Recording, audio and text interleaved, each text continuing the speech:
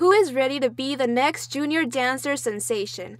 Thanks to LA Kiss and their major sponsor, Velocity Sports Performance, a new project is now available for any girl between the ages of 7 and 17 living in Orange County or Los Angeles who just want to have fun and rock on the dance floor.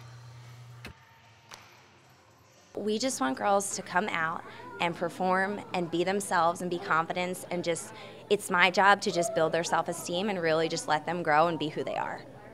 To have a group of young girls look up to our LA Kiss girls and look at them as role models and really just get to shine and have their personality out on the field and uh, work really hard and fulfill all of the expectations that the Kiss has, but to invite our younger population of kids to do so.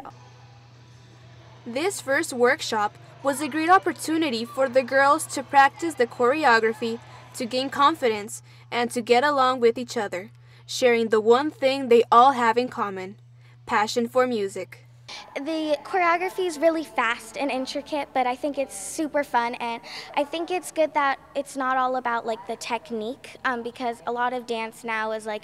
all turns, leaps, and jumps and stuff like that. And this was more just having fun and learning intricate choreography. That's just, yeah, it's really fun.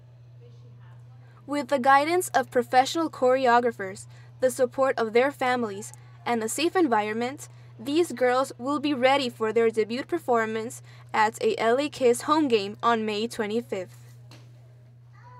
We are out there dancing, and then with the kids, we get to perform with them, and they get to go to three of our games. And I happen to teach two of them that are there now at one of my home studios, and we just make them strive to be a better dancer, and we give them the opportunity to perform as a company with us